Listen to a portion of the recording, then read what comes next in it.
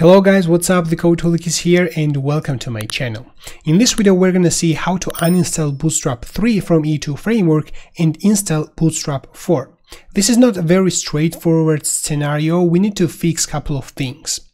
So I have right now installed a very fresh installation of Yii2 basic application and the web server, the uh, server PHP's built-in server is up and running so we can navigate between pages and see that it's actually working. However, I have also configured a database and imported data from this testdb data uh, from the following datacharmer uh, GitHub. Okay, so if I access the following link, I see grid view, I generated just simple CRUD. Uh, I see the following grid view and I have a lot of records and I see the pagination. So we need to fix the pagination as well when we convert, when we uninstall Bootstrap 3 and install Bootstrap 4.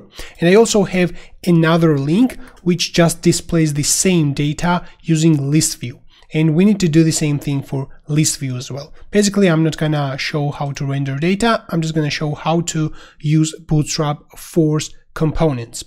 Okay, first let's give it a little bit of observation of the Bootstrap 3 and Bootstrap 4 packages from GitHub. Okay, every class which is in, in, inside Bootstrap uh, Bootstrap 3 package has a namespace of e Bootstrap. Okay, so that's the namespace of every class which is inside yii Bootstrap package, and that's for Bootstrap 3. However, in the Yii2 Bootstrap 4 package, every class has a namespace of Bootstrap 4, yii Bootstrap 4.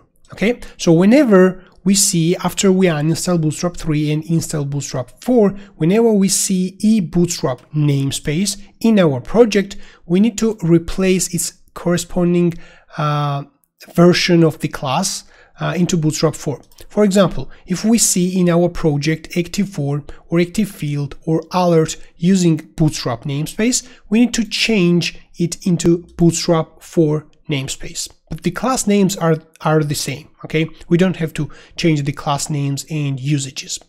Okay, so let's open now terminal and I'm going to uninstall Bootstrap 3. Composer, remove yiisoft yii2 bootstrap. This will take a couple of seconds. Now let's install Bootstrap 4. Composer, require yiisoft yii2 bootstrap 4. Okay, let's hit the enter. Okay, Bootstrap 4 is already installed. Let's collapse the terminal and let's have a look in the browser. So we're gonna see a lot of errors. Okay, what's this? Cannot fail to instantiate component or class e bootstrap bootstrap asset. So that's the thing. Now you know that the code is using e bootstrap namespace. However, this class doesn't exist in our application anymore. Let's see the place from which this is actually used. The error basically displays a DI container file, but that's not familiar for us. Okay, that, that comes from vendor. Okay, let's scroll down and find a file which is more familiar for, for us. Okay, right here we see views layouts main PHP and at line 11, excuse me, 13, here it is, app asset register this. So this is the line which basically causes the error. Let's open this app asset file. Assets, app asset, and right here in the depends array, we see eBootstrap bootstrap asset. This class doesn't exist anymore, so let's replace the namespace using bootstrap 4. Save and reload. Okay, we see something else. yii Bootstrap navbar not found. Okay, we need to fix this one as well. So let's go to views, layouts, main PHP, and right here we see this bootstrap namespace. Let's just replace with bootstrap 4. Okay, however, down below, we just replace the namespaces for nav and navbar. Let's scroll down and right here in the navbar, the following classes are used. Okay, navbar fix top, navbar inverse. So these classes doesn't exist in Bootstrap 4 anymore, and we will have to fix these classes when we make the application uh, working, okay? For now, let's just save and reload, and we see another error, which comes from widgets alert PHP. Okay, let's go to widgets alert PHP, and right here, down below, we are using e bootstrap alert. Let's just replace this e bootstrap 4 alert on line 62, and at the top as well, where we extend class, we are extending from e bootstrap uh, namespace. Let's change this into Bootstrap 4 as well. And right here, we see application working. Okay, so however, this breadcrumb is not looking good. So let's go to layout again. And down below, we are using these breadcrumbs. And the breadcrumbs are imported from widgets namespace. That's not imported from Bootstrap. Otherwise, it would it would just fail. Okay, let's replace this into Bootstrap 4 namespace, save and reload and this looks good as well. However, we don't see the menu, menu navigation at all, okay? That's simply because we are giving non-existing classes to the navbar and this given classes overrides the existing classes of the navbar okay so let's just comment this line or just comment the whole options okay reload the page and I see this nice menu. Okay, so let's inspect this and let's have a look at the classes which is added to the navbar. Okay, these are the classes added to the navbar. Okay, so let's come right here and I'm going to actually make this navbar as a light. So if I just comment this, the navbar looks light. However, I'm going to change this into dark, how it was before. However, we need to right here paste the following classes. We don't want navbar because it is added automatically, okay? Navbar expand LG, navbar light BG light, that's good. So now we see the same kind of navbar. However, we can uh, we see that navbar is not fixed right now, so let's fix by adding class fixed top. Let's save and reload. And now it's actually fixed. And let's give it also dark style how it was before. Navbar dark bg dark.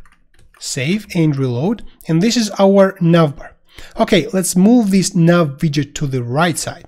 So down below we have this nav widget, which has two classes, navbar nav and navbar right. This navbar right doesn't exist anymore, so let's just give it a class ml auto margin left auto from bootstrap 4. Save and reload, and this is how it looks like. So that's much better. So if I navigate between pages, I see that on contact it fails because it uses class active form from yii Bootstrap namespace.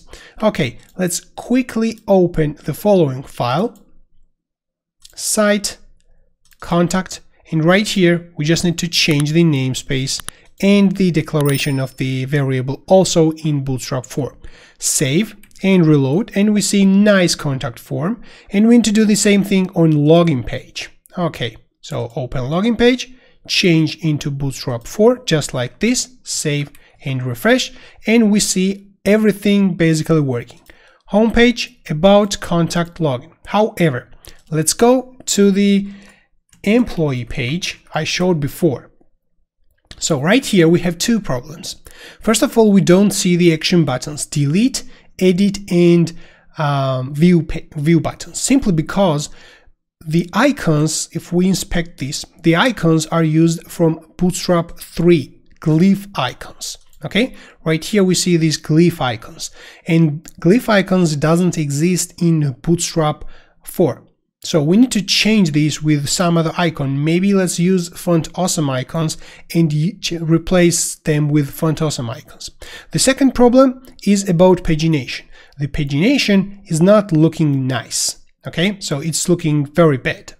And the same thing will be on pagination when we go to the list view down below. Okay, so let's first fix the pagination. So let's go to employee folder index.php and right here we have this grid view and grid view if we just open the grid view uh, it extends base list view and the base list view has down below a pager component okay this is a configuration array and by default the pager component uses class link pager which is which comes from e widgets namespace. Okay, we need to change this. If I just open the grid view and right here I write pager is a configuration array, but the class needs to be link pager from bootstrap 4 namespace. Okay, that is the class I want to give to the pager uh, component. Okay, so let's save this and reload the employee page. And down below, we see this nice pagination, which uses Bootstrap 4. Okay, we need to do the exact same thing for list view. Okay, let's go to list view right here and paste this pager, save, and let's access employee list. And we see this nice pagination. Okay, let's go to the employee page back and fix these action buttons in the grid view. Okay, in the form, however, we see everything uh, everything is working except one thing. The validation basically is not red. Okay, that's because the active form, which is used inside this form PHP, uses widgets namespace active form, not bootstrap 4 namespace active form. Save reload, click, click outside and we see this nice color validation. If we type something right there, then we see nice green. So everything basically works except these buttons, okay? Let's make these buttons working. So for this, let's go to the index.php and down below we have this action column. Let's observe this action column a little bit.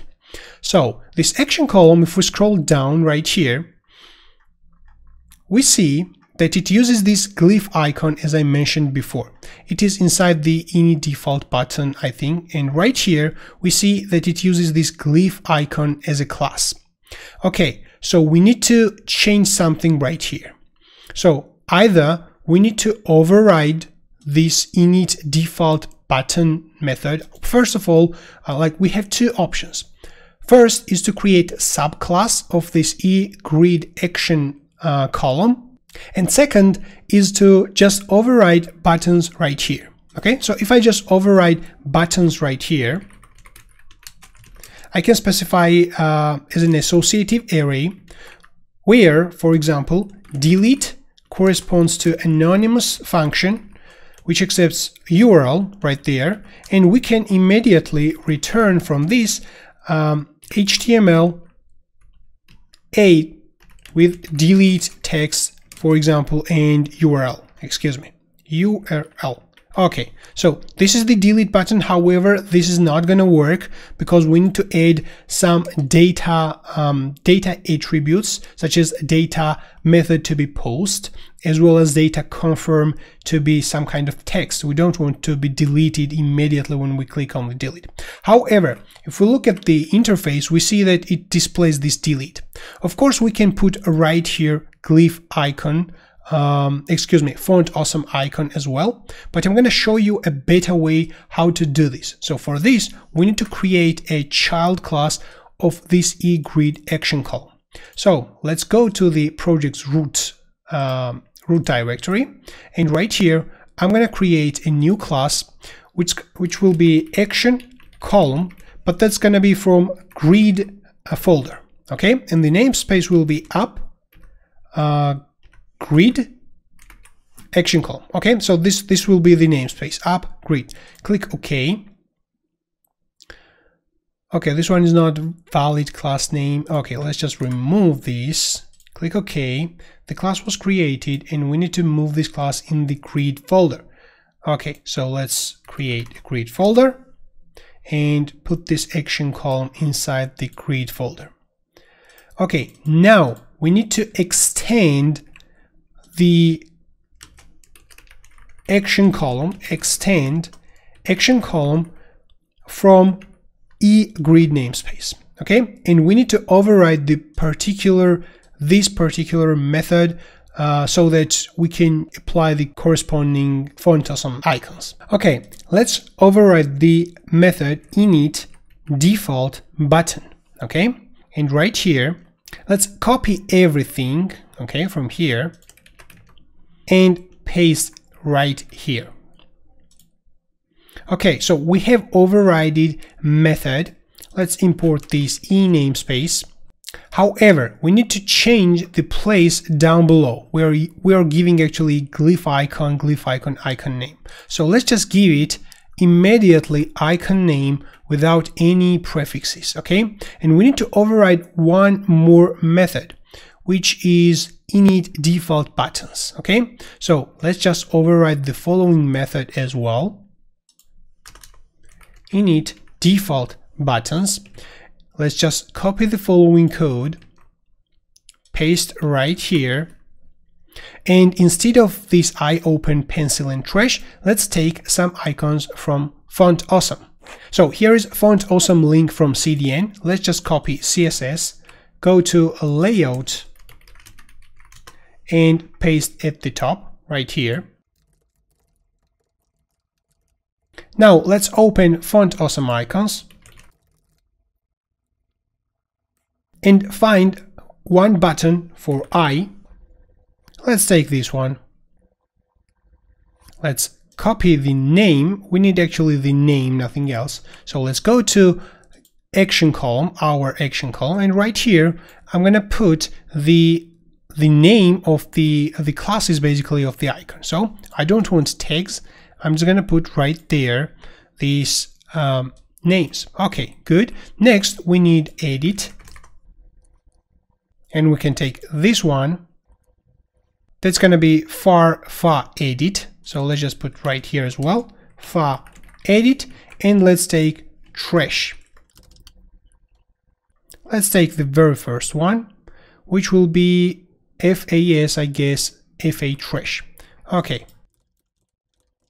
Okay, good. Now, if we go to index.php, right here, we need to change this namespace, okay? Now, I'm going to use action column from my app namespace. Okay, let's save and let's have a look. Reload the page and I see all three buttons right there. If I click this view, it opens the view page. If I go back and click this pencil, it opens the edit page. If I click the delete button, it, it opens the confirmation, the delete confirmation, okay? I just click cancel and it doesn't do anything. So this is how nice and how uh, good it looks like. I think Bootstrap 4 is much better than Bootstrap 3, so definitely you should move your applications uh, on Bootstrap 4. And if you are new, definitely uh, you should start with Bootstrap 4. Alright, that's it for this video guys. Thanks for watching. Thumbs up, subscribe if you are not yet subscribed. Let me know in the comment section also what you want to see on my channel and see you in the next time.